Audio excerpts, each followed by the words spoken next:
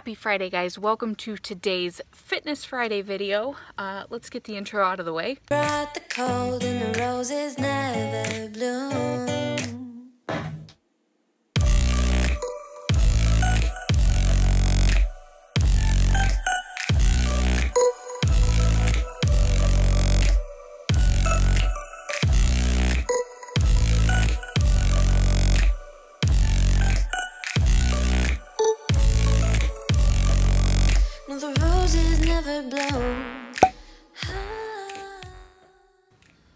Glad that you guys clicked on this video today.